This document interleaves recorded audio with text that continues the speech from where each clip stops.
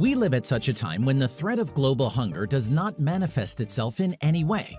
Africa remains the only continent where news on this topic comes from periodically. Ironically, Egypt, which is predominantly occupied by the lifeless African desert, never gets into the headlines of such news of the mass famine. How do they do it?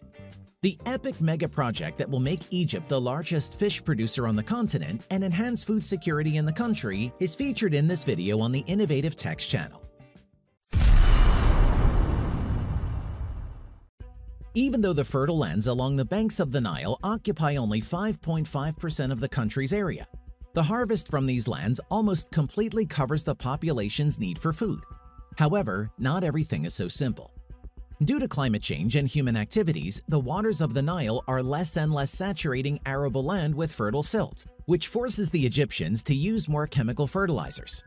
This in turn depletes the soil even more, reducing the area of pasture for livestock in arable land. In the face of such disappointing dynamics, the Egyptian authorities decided in the last century to diversify food sources and launched a large campaign to develop the fishing industry to provide the population with protein food. Before this, in the late 1970s, the government proposed a plan to accelerate the development of the sector. By the end of the reporting period in the mid-1980s, annual fish production had jumped from 17,000 tons to 45,000 tons. During this period, four large fish hatcheries, six fish farms, and five juvenile fish collection points were built. Thus, in a relatively short period of time, Egypt successfully diversified its food resources. At the same time, tens of thousands of people got jobs in the fishing sector as employees and owners of private fish farms on land leased from the state.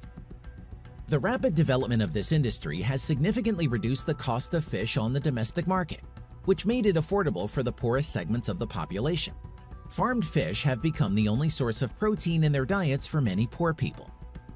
Despite all the efforts made, Egypt has not been able to cover all of its domestic fish needs until recently. To solve this problem and go out for export, the government of the country initiated a project to build the Al Fayrouz large-scale fish production complex, 10 kilometers east of Port Said and 17.5 kilometers from the Mediterranean coast. The project to create a fish farm with an area of 11 football fields, which began in 2017, has been divided into two phases.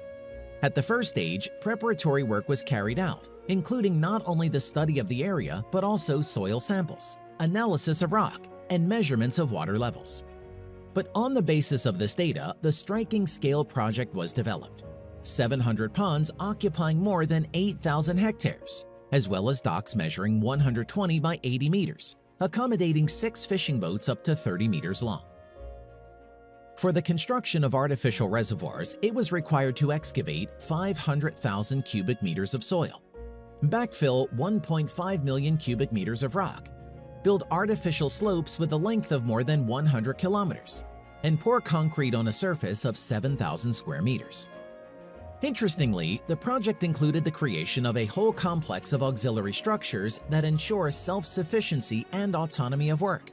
So, in addition to the ponds themselves, plants for fish processing, ice production, feed production, and packaging, as well as a veterinary laboratory complex and birthing facilities were erected on the territory of the mega farm. By the way, several unique technologies were used in the construction of artificial ponds and supply channels. One of them was the use of geosynthetic materials for lining the bottom of reservoirs.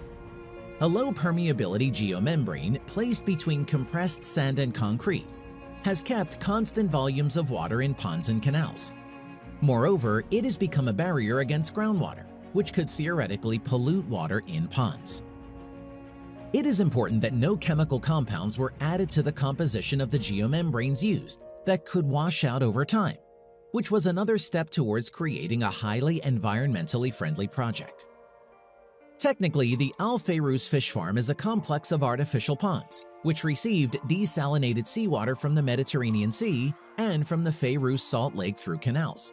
At the same time, the ponds are divided into several functional zones for breeding juvenile fish, growing adult fish, and shrimps. It is expected that the new mega project will provide jobs for up to 10,000 specialists in various fields, and this will naturally improve the economic situation in the region. On the global scene, the Al Fayruz in the next 10 years will create a huge value added for the development of the Suez Canal, as well as the Sinai Peninsula as a result of the emergence of new industrial and urban settlements. But to an even greater extent, the fish megafarm will bring the Egyptian government's plans to provide the entire population of the country with affordable protein food by 2030, and will allow Egypt to export part of its products to the Middle East and Europe. There are all prerequisites for this. Al Fayruz has already become the largest fish hatchery in Africa, overtaking Lake Harvest in Zimbabwe, which for a time was the largest aquaculture facility on the continent. Before the construction of the megafarm, Egypt was the eighth largest fish producer in the world. According to the government's calculations, the new project will increase production in the country by another 150,000 tons of fish per year, that is, by 7.5% to the already produced 2 million tons.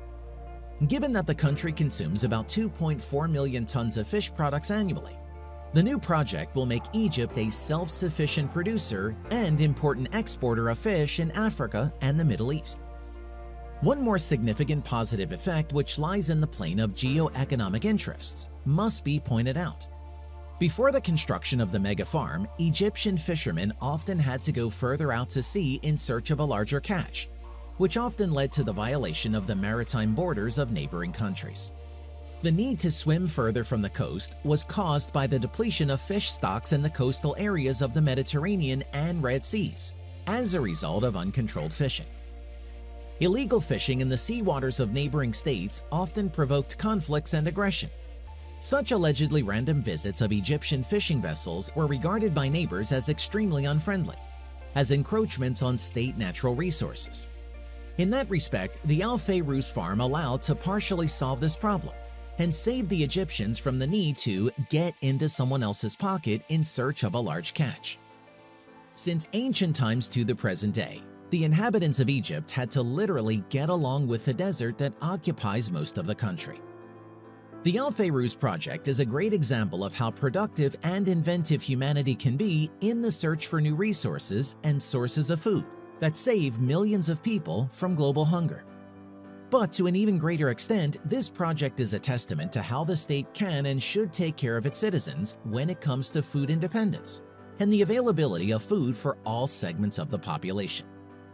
There are not so many such examples in the world, and Al Fayruz really deserves applause to the Egyptian authorities, who have implemented such a unique project from scratch right in the middle of the desert. Who knows, maybe soon Egyptian fish will appear on our tables.